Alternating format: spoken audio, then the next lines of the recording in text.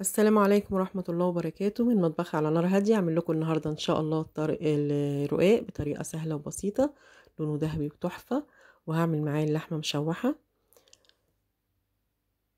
مستوية ودايبة جدا. الرقاق ده طبعا بنعمله في العيد كل سنة وأنتم طيبين. آه بس مفيش مانع إن إحنا نعمله كده في الأيام العادية. هو حلو قوي. آه اللحمة دي أنا مشوحاها من غير أي حاجة. دايبة.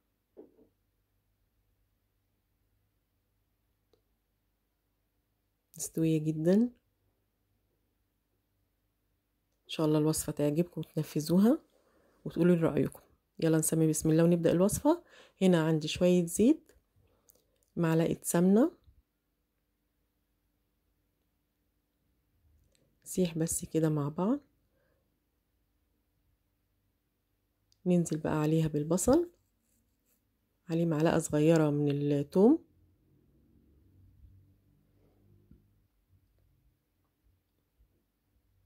نسيبه بس يدبل مش أكتر من كده.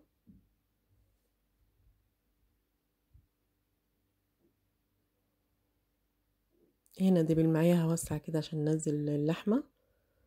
وكسرها كويس قوي عشان ما تعملش كتل. ما تسيبيش اللحمة لو خدت السخونية هتلاقيها عملت كتل وما بقتش لطيفة خالص. انتي بتقعدي تكسري فيها لحد ما تبقى معاكي بالشكل ده. تمام؟ طبعا كمية اللحمة زي ما انت عايزة هنا شوية زعتر. أنا في المعتاد بعمل كمية وبشيلها في الفريزر وقت ما بعوزها وهنحط سبع بهارات وشوية فلفل أسود شوية قرفة. هنا ربع معلقة هحط جنزبيل ربع معلقة جنزبيل بودر وربع معلقة سماق. هقلبها كده تقليبتين. واسيبها بقى لحد ما تاخد مع بعض كده وتستوي. ما بتاخدش حاجة مجرد عشر دقايق ولا ربع ساعة بالكتير قوي بتكون استوت هظبط الملح بتاعي. هسيبها بقى شوية كده هي كده تمام استوت. هنا عندي بقى معلقة هريسة. دي إضافة مني مش عايزة مش مش حباها مفيش مشكلة تجنبيها. هي كده اللحمة خلاص جهزت وبقت تمام. هنا هاجي بقى أعمل الرقاق هجيب شوية سمنة عليه شوية زيت. يعني في حدود مثلا نص كوباية سمنة عليها ربع يعني معلقتين زيت. هنا هجيب الصينية هحط طبعا ثلاث معالق سمنة كده كويسين. الرقاق طبعا بيحب السمنة. والزيت بس يديها لون حلو كده ذهبي. هنا عندي شوربة هاخد الرقاقة أبلها. من من الظهر بالشكل ده من الناحيتين وكل رقاقية هحط إيه؟ آه سمنة كده معلقة كبيرة ما بين الرقاقة والرقاقة. هنا نكرر العملية كده بالشكل ده. هحط أنا بقى خمس رقاقات. خمس رقاقات من تحت قبل قبل المفروم. برضو معلقة السمنة ما بين الرقاقة والرقاقة. هنا أنا عملت خمسة. أنا بعمل خمسة وخمسة طبعا انتي على حسب اللي أنا بحبها معقولة كده وسط. هنحط اللحمة المفرومة. هنوزعها بالشكل ده. وهنسيب فراغ كده من عشان لما أجي أقلب الصينية. بالشكل ده. وطبعا إيه, إيه الرقاق زي ما انتي عايزة لو عايزاها عالية بتزودي. لكن أنا بفضلها بالشكل ده بتبقى خفيفة وتبقى حلوة قوي طبعا أنا سبت ال بسيب ال ال ال ما بين الصينية كده حتت صغيرة كده علشان إيه لما أجي أقلبها. هنا طبعا أنا هحط هعيد برضو إن هو خمس برضو رقاقات كل رقاقة هبلها وأحطها وأحط برضو كده سمنة معلقتين كده كبار سمنة. وأجيب الرقاقة التانية ابلها يبقى إحنا قلنا خمس رقاقات من تحت والعصاج وهنسيب كده مسافة ما بين الصينية والرقاق. والعصاج وهحط برضو رقاق تاني خمس رقاقات تاني ما بين كل رقاقة آه معلقتين سمنة. بالشكل ده يبقى خمسة من القاع والمفروم وعليها خمسة ما بين رقاق ما بين كل رقاقة ورقاقة سمنة. كده تمام خلصتها. هحطها بقى على قاع العصاجة بتاعة البوتاجاز. بتاخد تلت ساعة بالظبط. يبقى أنا هحطها على البوتاجاز آه على من تحت. بتاخد تلت ساعة. هنا بقى في الفترة دي أنا هعمل بقى اللحمة مشوحة هجيب حلة وأحط عليها شوية زيت شوية زيت كويسين. هنا بقى فصين من المستكة أحطهم مع الزيت يسيحوا. الريحة بتطلع المستكة تحفة. هنا ساحت خلاص هنزل بقى باللحمة بتاعتي تكون طبعا على ما تسيح تكون الحلة بقت سخنة جدا عشان اللحمة تاخد الصدمة. هنا هنزل بقى اللحمة مش هحط لحمة على لحمة أنا بحط كل الفوارغ علشان ما تجيبش ميتها عشان تبقى الحلة سخنة.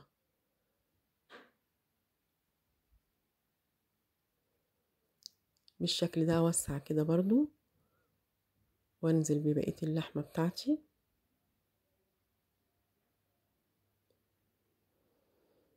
بالشكل ده هسيبها بقى تاخد اللون من تحت وأفضل وأقلبها. بالشكل ده تاخد اللون ده وتروح قلبها هقلب بقى كله بالشكل ده عشان تاخد اللون الحلو الذهبي. هفضل معاها كده لحد ما كلها تاخد من ناحيتين اللون الذهبي الحلو. تمام؟ هي بص كلها كده خدت لون زي بعض. الشكل اللي أنتوا شايفينه ده. بس كده. في المرحلة ديت هي كده خلاص خدت يعني هي ممكن تاخد في حدود عشر دقايق على ما توصل للمرحلة ديت وأنا واقفة قدامها لحد ما اديها اللون. كل ده ما ضفتلهاش أي حاجة. هجيب بقى مية سخنة بتغلي بحدود كده ربع كوباية وأروح مغطياها وموطية عليها. بكرر المرحلة ديت كم مرة لحد ما اللحمة تستوي؟ يعني أنا كده خلاص حطيت ربع كوباية المية وهغطيها. تمام؟ وهسيبها. آه طبعا كل شوية بص عليها. تشرب ميتها زي كده شربت ميتها. بص ما بقاش بقى فيها مية خالص. تلاقيها بص شاربة ميتها بالشكل ده. هروح برضو حاطة ربع كوباية مية برضو مغلية. بالشكل ده وأغطيها وأسيبها. هفضل أكرر المرحلة ديت لحد ما تستوي. تمام؟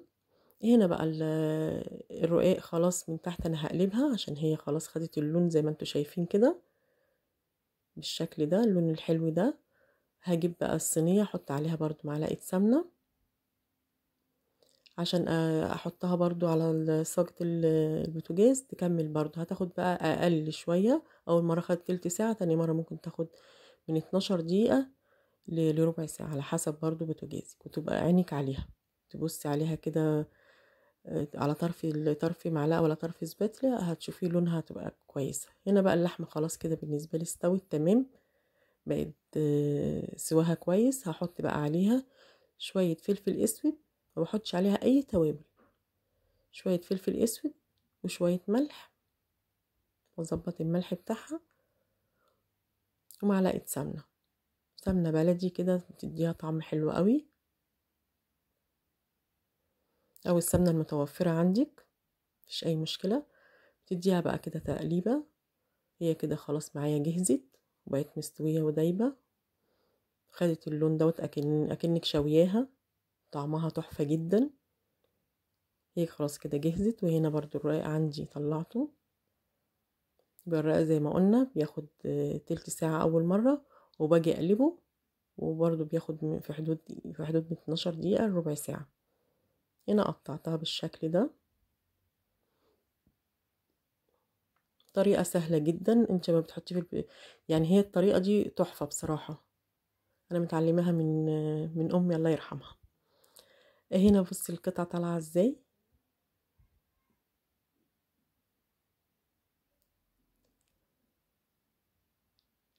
تحفة.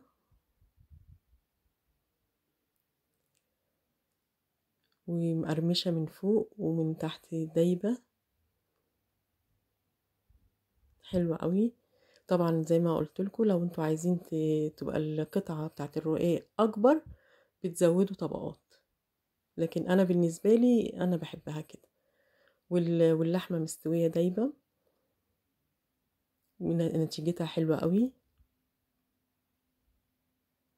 طبعا يعني حطيت أنا على شوية بقدونس شوية فلفل ألوان كده تزيني الطبق بتاعك. اللحمة دايبة خالص وقطعة الرقاق طعمه تحفة. تجربوه إن شاء الله بألف هنا وشفا. ولو عجبكم الفيديو ما تنسينيش like و share واشتركوا في القناة وفعلوا الجرس عشان يوصلكم كل جديد. والسلام عليكم ورحمة